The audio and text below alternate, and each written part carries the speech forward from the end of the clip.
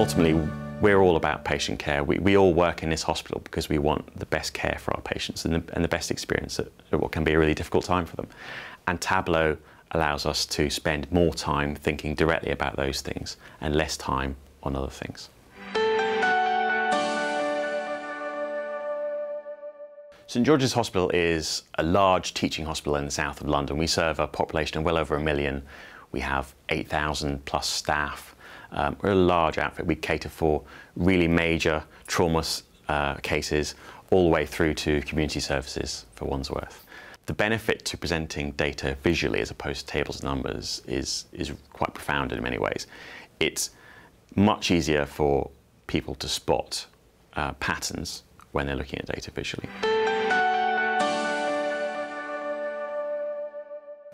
I'd recommend Tableau to um, anyone, particularly healthcare professionals, because it allows us to understand our information and to inform decisions that we need to take quickly and effectively, uh, which allows us to spend more time talking about things that really matter to the future of this hospital, uh, in our case, and uh, the future and care of our patients.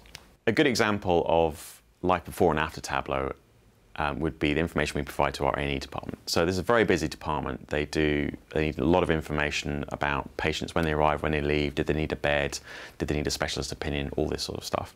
And before, we were drawing all that in, information together manually, lots of cutting and pasting uh, around Excel, that sort of stuff, and it's just very laborious to produce the information.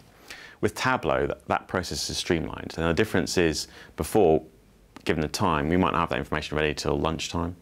And now we're able to have that information ready nine o'clock or so in the morning. As a patient at St George's, you wouldn't see Tableau directly, obviously, but you would receive the benefits of us using it. Um, it would come in subtle forms. It, would come in form of maybe slightly better organised uh, facilities, slightly better decor even, better patient experience, uh, maybe even better clinical outcomes, who knows. One of my favourite things about Tableau is when I get to use it to bust an anecdotally held truth or to, to disperse a myth that uh, people think they understand about the service.